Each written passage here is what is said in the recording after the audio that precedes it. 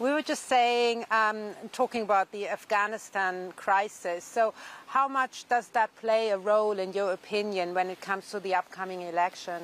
So, it's still a month to go um, until election day, and I think that um, the attention that is currently very high uh, will fade away. Foreign policy usually doesn't play a big role in German elections, with one example the no against the Iraq war in 2002 um, by our back then um, chancellor, but usually people are not that interested and it doesn't kind of make or break an election. But of course, uh, a potential, not potential, but a new government will also leave a different mark in Europe and in, in on yeah, foreign relations. So it's very interesting to hear from you what you think will be also the future engagement, for example, with Russia.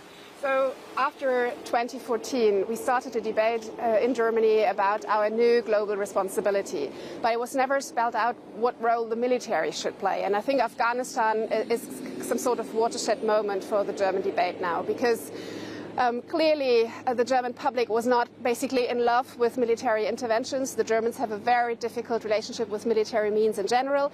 And kind of Germany was on some sort of way to normalize, to become a country like maybe France or the UK when it comes to using the military.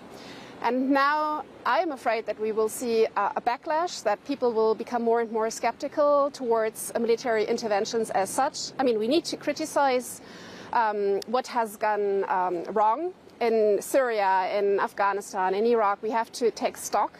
But I think to now basically um, shut the world off and to, to, I don't know, build Fortress Europe, I think is not a solution. And I think the Europeans need to come to terms with doing more also vis-à-vis -vis Russia.